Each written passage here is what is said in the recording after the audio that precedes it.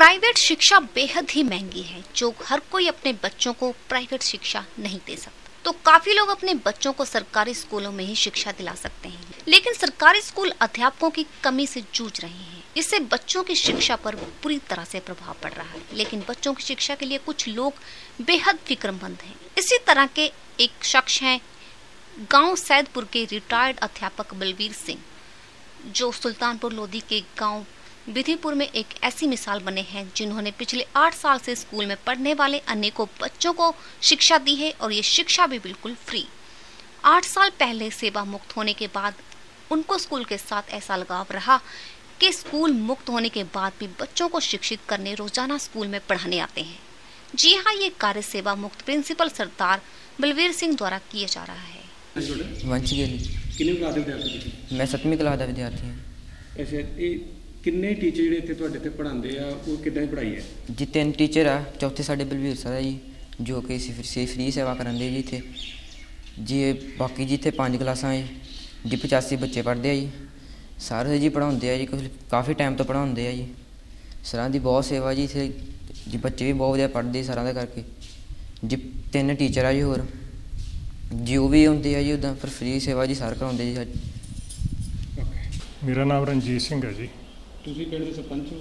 ਮੈਂ ਮ, ਸਾਬਕਾ ਹੈਡ ਟੀਚਰ ਹਾਂ ਤੇ ਸਾਬਕਾ ਸਰਪੰਚ ਹਾਂ ਇਸ ਵੇਲੇ ਦੋ ਟਰਮਾਂ ਜਿਹੜੀਆਂ ਉਹ ਲਾਈਆਂ ਸਰਪੰਚੀ ਦੀਆਂ। ਠੀਕ ਹੈ ਜੀ। ਜਿਸ ਤਰ੍ਹਾਂ ਇਹ ਤੁਹਾਡੇ ਤੇ ਹਾਈ ਸਕੂਲ ਦੇ ਵਿੱਚ ਸਰਦਾਰ ਦਲੀਪ ਸਿੰਘ ਜੀ ਜਿਹੜੇ ਅ, ਸੇਵਾ ਦੇ ਰਹੇ ਆ ਟੀਚਰ ਦੀ। ਹਾਂਜੀ। ਰਿਟਾਇਰਮੈਂਟ ਕਾਫੀ ਟਾਈਮ ਹੋ ਗਿਆ ਕਿਸ ਤਰ੍ਹਾਂ ਇਹ ਸੇਵਾ ਕਰ ਰਹੇ? ਬਹੁਤ ਵਧੀਆ ਸੇਵਾ ਕਰ ਰਿਹਾ ਜੀ।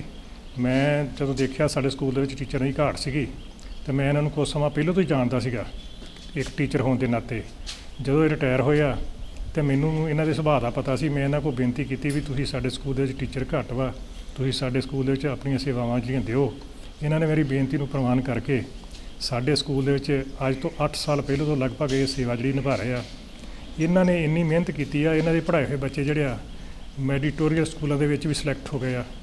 ਤੇ ਸਾਡੇ ਸਕੂਲ ਵੀ ਚੱਲਦਾ ਰਹਿ ਗਿਆ। ਅੱਜ ਵੀ ਸਾਡੇ ਸਕੂਲ ਦੇ ਵਿੱਚ ਸਿਰਫ ਇੱਕ ਅਧਿਆਪਕਾ ਵਾ ਜਿਹੜੀ ਇਸ ਸਕੂਲ ਦੀ ਆ, ਦੋ ਡੈਪੂਟੇਸ਼ਨ ਤੇ ਆ। ਇਹਨਾਂ ਦੇ ਆਉਣ ਦੇ ਨਾਲ ਸਾਡਾ ਸਕੂਲ ਜਿਹੜਾ ਉਹ ਚੱਲਦਾ ਰਿਹਾ। ਨਹੀਂ ਤਾਂ ਸਾਡੇ ਸਕੂਲ ਦੀ ਬਹੁਤ ਮਾੜੀ ਹਾਲਤ ਹੋ ਸਕਦੀ ਸੀ, ਪਰ ਇਹਨਾਂ ਨੇ ਸਾਡੇ ਪਿੰਡ ਦੇ ਬੱਚਿਆਂ ਦਾ, ਸਾਡੇ ਸਕੂਲ ਦੇ ਬੱਚਿਆਂ ਦਾ ਭਵਿੱਖ ਜਿਹੜਾ, ਉਹ ਬਹੁਤ ਉਜਲਾ ਕੀਤਾ। ਮੈਂ ਇਹਨਾਂ ਦਾ ਬਹੁਤ ਧੰਨਵਾਦੀ ਹਾਂ ਵੀ ਇਹਨਾਂ ਨੇ ਮੇਰੀ ਗੱਲ ਮੰਨ ਕੇ ਸਾਡੇ ਸਕੂਲ ਵਿੱਚ ਆਏ।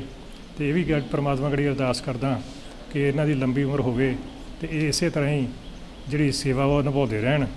ਇਹ ਬੜੀ ਅਣਮੁੱਲੀ ਸੇਵਾ ਵਾ ਜਿਹੜੀ ਇਹ ਨਿਭਾ ਰਹੇ ਆ। ਇਹ ਹਰ ਇੱਕ ਬੰਦੇ ਦੇ ਵੱਸ ਦੀ ਗੱਲ ਨਹੀਂ ਘਰੋਂ ਰੋਜ਼ ਤਿਆਰ ਹੋ ਕੇ ਆਉਣਾ, ਮੈਂ ਇਹਨਾਂ ਦੀ ਮਿਸਿਸ ਦਾ ਵੀ ਧੰਨਵਾਦ ਕਰਦਾ ਕਿ ਜਿਹੜੇ ਰੋਜ਼ ਇਹਨਾਂ ਨੂੰ ਵੱਲੋਂ ਤਿਆਰ ਕਰਕੇ, ਤੁਹਾਨੂੰ ਪਤਾ ਹੀ ਆ ਵੀ ਔਰਤ ਤੋਂ ਬਿਨਾ ਬੱਚਾ, ਬੰਦਾ ਜਿਹੜਾ ਤਿਆਰ ਹੋ ਕੇ ਨਹੀਂ ਆ ਸਕਦਾ। ਉਹਨਾਂ ਦਾ ਵੀ ਧੰਨਵਾਦੀ ਆ, ਇਹਨਾਂ ਦੇ ਪਰਿਵਾਰ ਦਾ, ਇਹਨਾਂ ਦੇ ਬੱਚਿਆਂ ਦਾ ਵੀ ਧੰਨਵਾਦੀ ਆ ਕਿ ਜਿਨ੍ਹਾਂ ਨੇ ਇਹਨਾਂ ਨੂੰ ਕੋਈ ਰੋਕ ਟੋਕ ਨਹੀਂ ਕੀਤੀ। ਮੈਂ 31 ਜਨਵਰੀ 2012 ਦੇ ਵਿੱਚ ਰਿਟਾਇਰ ਹੋਇਆ ਸੀ। ਔਰ ਉਦੋਂ ਤੋਂ ਉਦ- ਉਦੋਂ ਤੋਂ ਪਿੰਡ ਵਾਲਿਆਂ ਨੇ ਮੇਰੇ ਕੋਲ ਥੋੜੀ ਜਿਹੀ ਬੇਨਤੀ ਕੀਤੀ ਸੀ ਕਿ ਫਰਵਰੀ ਔਰ ਮਾਰਚ ਦਾ ਮਹੀਨਾ ਹੈ ਜਿਹੜਾ ਬਾਕੀ ਰਹਿੰਦਾ ਤੁਹਾਡੇ ਸੈਸ਼ਨ ਦਾ ਉਹ ਤੁਸੀਂ ਸਾਡਾ ਕੰਪਲੀਟ ਕਰ ਦਿਓ। ਔਰ ਮੈਂ ਇਹਨਾਂ ਨੂੰ ਕਿਹਾ ਸੀ ਮੈਂ ਕੰਪਲੀਟ ਕਰ ਦੂੰਗਾ ਔਰ ਉਸ ਤੋਂ ਬਾਅਦ ਫਿਰ ਮੈਂ ਇਹ ਦੇਖਿਆ ਕਿ ਖਾਲੀ ਸਮਾਂ ਜਿਹੜਾ ਲਗਾਉਣਾ ਉਹ ਬਹੁਤ ਔਖਾ ਹੈ। ਔਰ ਮੈਂ ਇਸ ਨੂੰ ਆਪਣਾ ਸ਼ੌਕ ਬਣਾ ਲਿਆ ਤੇ ਉਦੋਂ ਤੋਂ ਲਗਾਤਾਰ ਮੈਂ ਮਤਲਬ ਸਰਕਾਰੀ ਸਕੂਲ ਦੇ ਵਿੱਚ ਆਪਣੀਆਂ ਨਿਸ਼ਕਾਮ ਸੇਵਾਵਾਂ ਜਿਹੜੀਆਂ ਉਹ ਦੇ ਰਿਹਾ। ਤਿੰਨ ਸਾਲ ਮੈਂ ਠੱਠੇ ਨਵੇਂ ਅਹ, ਆਪਣੇ ਸੇਵਾਵਾਂ ਦਿੱਤੀਆਂ ਤੇ ਉਸ ਤੋਂ ਬਾਅਦ ਇੱਥੇ ਲਗਭਗ ਪੰਜਵਾਂ ਸਾਲ ਮੈਨੂੰ ਜਾ ਰਿਹਾ ਜਨਵਰੀ ਦੇ ਵਿੱਚ 5 ਸਾਲ ਪੂਰੇ ਹੋ ਜਾਣਗੇ ਔਰ ਇੱਥੇ ਉਦੋਂ ਤੋਂ ਮੈਂ ਬਿਨਾਂ ਕਿਸੇ ਸ਼ੁਲਕ ਦੇ ਆਪਣੀਆਂ ਸੇਵਾਵਾਂ ਜਿਹੜੀਆਂ ਉਹ ਇਸ ਸਕੂਲ ਦੇ ਵਿੱਚ ਦੇ ਰਿਹਾ ਜੀ ਜਿਸ ਤਰ੍ਹਾਂ ਤੁਸੀਂ ਦੱਸਿਆ ਕਿ ਕੋਈ ਪੈਸਾ ਨਹੀਂ ਤੁਸੀਂ ਲੈ ਰਹੇ ਇਸ ਬਾਰੇ ਕੀ ਇੱਥੇ ਕਰਵਾਉਂਦੇ ਹੋ? ਤੁਸੀਂ ਕਿਹੋ ਜਿਹੀ ਸਟੱਡੀ ਕਰਵਾ ਰਹੇ ਹੋ? ਕਿ ਐਸ ਮੌਕਾ ਮੈਂ 10ਵੀਂ ਜਮਾਤ ਨੂੰ ਇੰਗਲਿਸ਼ ਔਰ ਸੋਸ਼ਲ ਸਾਇੰਸ। 9ਵੀਂ ਜਮਾਤ ਨੂੰ ਇੰਗਲਿਸ਼ 8ਵੀਂ ਜਮਾਤ ਨੂੰ ਪੰਜਾਬੀ ਔਰ 7ਵੀਂ ਜਮਾਤ ਨੂੰ ਇੰਗਲਿਸ਼। ਇਹ ਸਬਜੈਕਟ ਜਿਹੜੇ ਆ, ਮੈਂ ਕਰਵਾ ਰਿਹਾ। ਔਰ ਇੱਕ ਸਾਲ ਦੇ ਵਿੱਚ ਮੈਨੂੰ 8ਵੀਂ ਨੂੰ ਮੈਥ ਔਰ 6ਵੀਂ ਨੂੰ ਮੈਥ ਵੀ ਕਰਵਾਉਣਾ ਪਿਆ ਸੀ ਔਰ ਮੈਂ ਉਹ ਵੀ ਕਰਵਾਇਆ ਸੀ। ਇਹਨਾਂ ਕਲਾਸਿਸ ਤੇ ਦੇਖੇ, ਪਹਿਲੀ ਦੀ ਗੱਲ ਹੈ ਵੀ ਸਾਰੇ ਸਕੂਲ ਦੇ ਵਿੱਚ 7-8 ਪੋਸਟਾਂ ਹੁੰਦੀਆਂ। ਔਰ ਇੱਥੇ ਸਿਰਫ ਤੇ ਸਿਰਫ ਇੱਕ ਸਾਇੰਸ ਦੀ ਪੋਸਟ ਫਿਲਅਪ ਹੈਗੀ ਆ। ਦੋ ਟੀਚਰ ਇੱਥੇ ਡੈਪੂਟੇਸ਼ਨ ਤੇ ਆ ਔਰ ਇੱਕ ਟੀਚਰ ਜਿਹੜਾ ਹੈਗਾ, ਉਹ ਤਿੰਨ ਦਿਨ ਦੇ ਡੈਪੂਟੇਸ਼ਨ ਤੇ ਆ, ਉਹ ਆਪਣੇ ਕੰਪਿਊਟਰ ਦਾ ਟੀਚਰ ਆ।